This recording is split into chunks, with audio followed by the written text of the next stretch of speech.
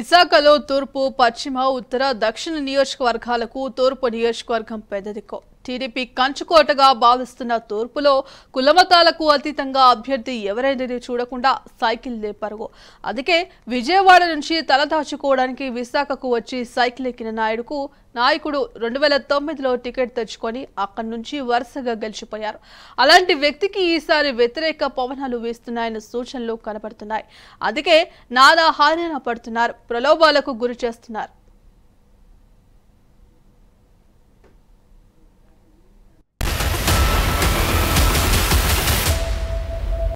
విశాఖ తూర్పు నియోజకవర్గ ఎమ్మెల్యే వెలగపూడి రామకృష్ణ బాబు అదే నియోజకవర్గం నుంచి మూడు సార్లు గెలిచారు.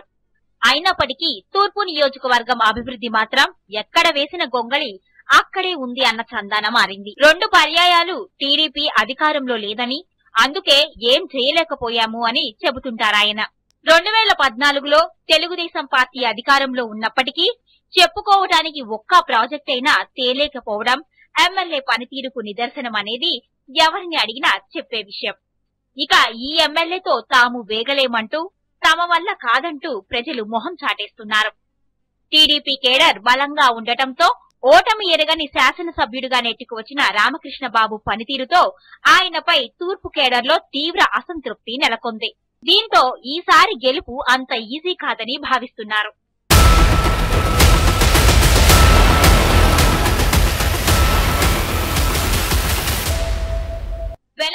రామకృష్ణ బాబు మూడు పర్యాయాలు గెలిచినప్పటికీ నియోజకవర్గం అభివృద్ధి కంటే తన లిక్కర్ మాఫియా వృద్ధి చెందడానికే పెద్దపీట వేశారు. విజయ వైన్ సిండికేట్ ద్వారా కొంతమంది మద్యం వ్యాపారులను వెంట వేసుకొని విశాఖ నగరంలో నలుమూలల తన లిక్కర్ సామ్రాజ్యం విస్తరించారు. మద్యం షాపులు బార్ల వేలంలో సైతం తన అంగబలాన్ని అర్ధబలాన్ని వినియోగించారు. సగానికి పైగా మద్యం షాపులను గతంలోనే చేదెక్కించుకున్నారన్న ఆరోపణలు అనేకం వచ్చాయి.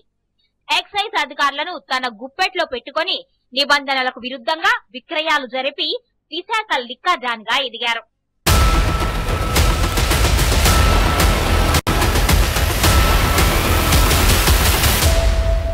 ఇంతేనా? ఈ ఎమ్మెల్యేకు ఘనమైన చరిత్రే ఉంది.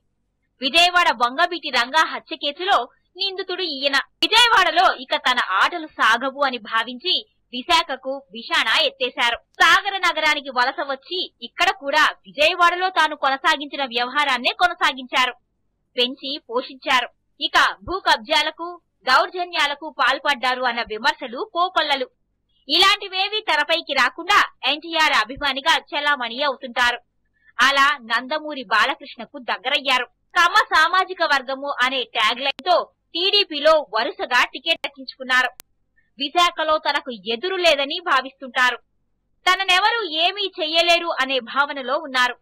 అయితే బాబు ఆగడాలు రోజు రోజుకు ఎక్కువ అవుతుండటంతో ఈ సారాయి డాన్కు ఈసారి చెక్ పెట్టేందుకు కమ్మ సామాజిక వర్గం నేతలు సైతం కలసికట్టుగా రంగంలోకి దిగుతున్నారు. మరికొన్ని వారాల్లో వచ్చే ఎన్నికలో ఈయన గారి సత్తా ఏంటి అనేది తేలిపోనుంది.